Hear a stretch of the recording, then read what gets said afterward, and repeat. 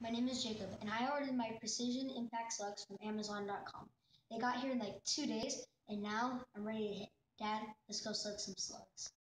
First, I like to start off with a little bit of tee work. And maybe sometimes a little bit of high tee work.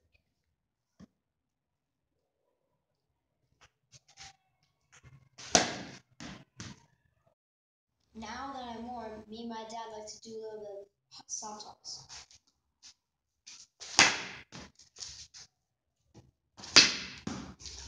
Alright, well that's enough for me. How about you guys go slug some slugs?